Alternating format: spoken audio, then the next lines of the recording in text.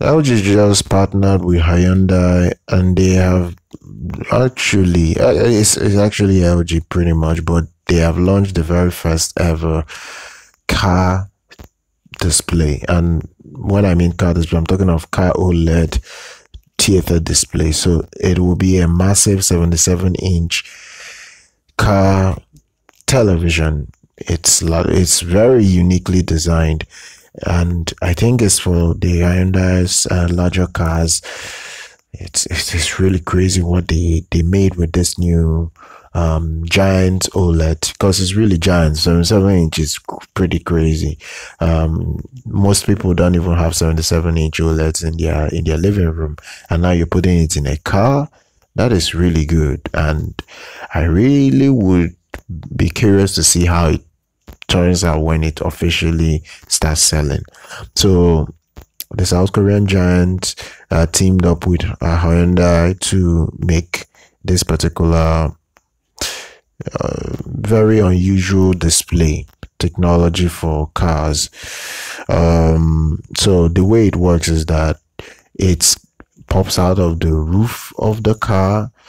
Now they they haven't really talked about the models of the Hyundai cars that it will be available on because 77 inches is a very very big TV and I, I know what a 77 inch TV really looks like so fitting that into a car, regardless of even if it's popping down from the roof, you would need a considerable amount of space to be able to pull that off uh, properly.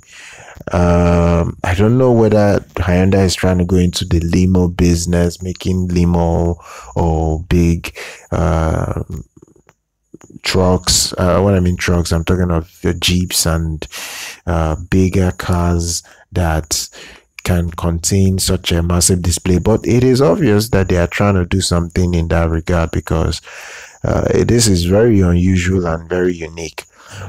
So the way it, it pops out of the roof and drops down and you can start watching your movies and you see it is it is what it is. The the so the the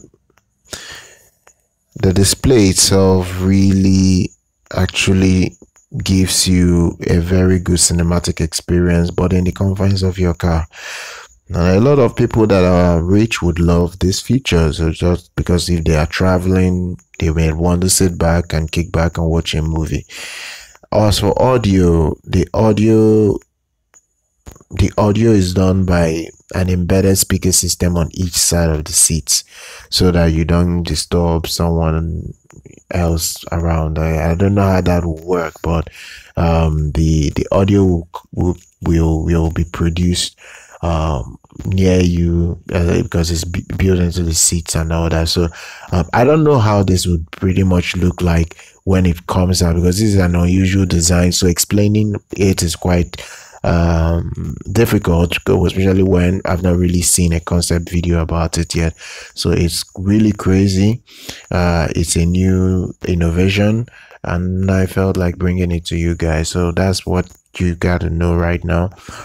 It's not yet. Uh, once ever it rolls out, as on or at least when they announce that it's going to roll out, I'll be sure to bring you guys the news because I'm really interested in this unusual display uh, for cars that is 7 7 inches in in size. So that's it. Be sure to follow on social media guys. Subscribe to our channel uh, like our content and i'll see you guys next time